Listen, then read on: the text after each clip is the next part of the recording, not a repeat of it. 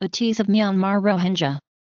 ASEAN countries should respect the actions of Myanmar on the Rakhine state issue, he said. Addressing a 5,000 strong rally in Kuala Lumpur, Najib Razak said the Myanmar government must stop the bloody crackdown in its far west that has sent thousands of Rohingya fleeing, many with stories of rape, torture, and murder.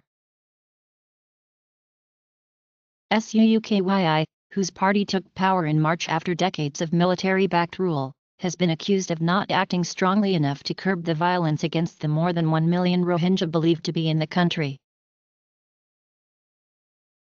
Myanmar authorities have rejected allegations by residents and rights groups that soldiers raped Rohingya women, burned homes, and killed civilians during a crackdown in response to coordinated attacks on three border posts along the frontier with Bangladesh.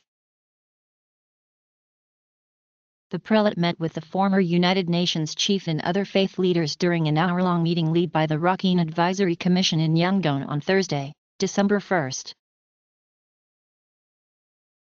Humanitarian outfits have called for an independent probe into the initial attacks, the ongoing operations and reported rapes and rights abuses in Rakhine, as with the area placed under military lockdown, rights groups and global reporters have been unable to enter. Worldwide rights groups have accused the military of burning homes, arbitrary arrests, torture and rape but the government has continuously denied the allegations claiming that the military has been hunting militants within legal limits.